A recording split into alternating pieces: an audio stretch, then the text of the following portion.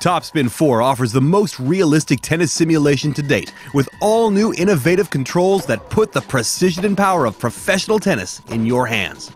First, move your player with the left stick. The first bounce helper will indicate where the ball is going with a yellow X on the court. Then press and hold down one of the face buttons to prepare your swing. Release the button too early and your shot will be weak, but release too late and you'll risk hitting the ball out of bounds. Top Spin 4 introduces an improved press and hold mechanic that allows you to control different shot types with just one button. Use the new timing helper to get real time feedback until you've gotten the rhythm down.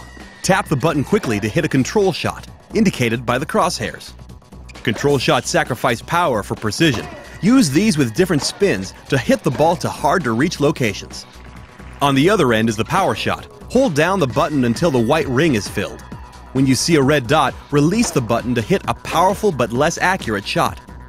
Each face button swings a different shot. The X button swings a flat shot, straight and powerful. The circle button swings a topspin shot, less powerful but more precise. The square button swings a slice shot. These are slow but can throw off your opponent's momentum. The triangle button swings a lob. This is useful when your opponent is at the net. Top Spin 4 also has advanced shots to improve your game. Pressing and holding R2 when pressing the square button will make your player attempt a drop shot. This is perfect for when your opponent is hanging at the baseline. Pressing R1 during a serve or shot will send you to the net after the shot.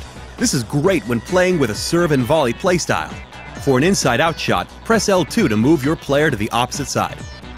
Serving in Top Spin 4 is as simple as you want it to be, with options for new and veteran players. For new players, tap a face button for a basic serve. This is not as strong as other methods, but is unlikely to fault. For a more powerful serve, press and hold down the shot button until the ball reaches its peak, then release. Aim with the left stick while serving to place the ball in different parts of the service box.